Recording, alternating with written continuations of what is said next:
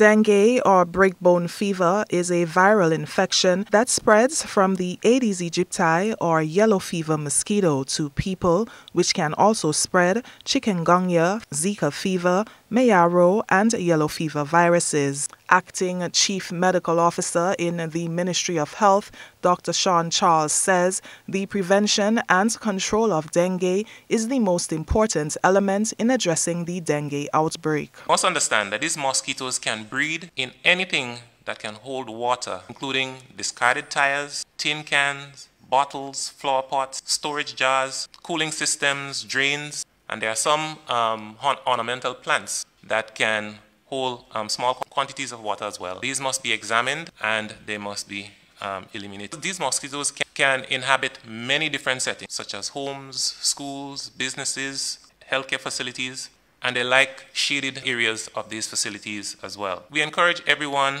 to just spend a little time, um, at least once a week, examine your, your surroundings for sites where mos mosquitoes can breed. Dr. Charles issued this plea after presenting an update of the epidemiology data during a press conference on Friday.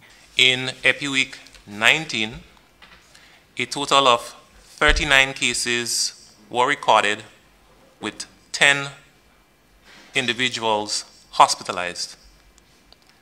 60% of the hospitalized cases were from the parish of St. Andrew the parishes of St.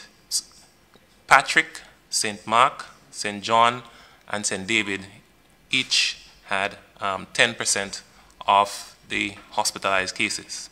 The data shows an increase in the number of dengue cases by 19 and in the number of hospitalizations by 7 compared to the 20 dengue cases recorded in week 18, which included 3 hospitalizations. The age group, the single age group that, that was most affected were the 25 to 44 years um, age group. However, we note that 56% of the reported cases were ages 24 years and below, or 24 years and younger.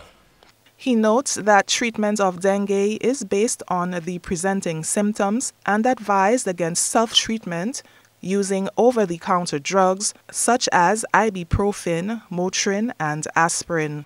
Now, these medications, such as the, um, the, the, ibuprofen and the aspirin and so on, they tend to inhibit your platelets.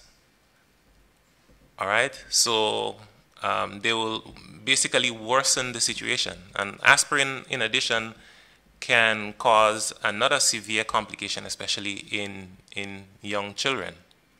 So that is why the, the public is advised to stay away from these medications.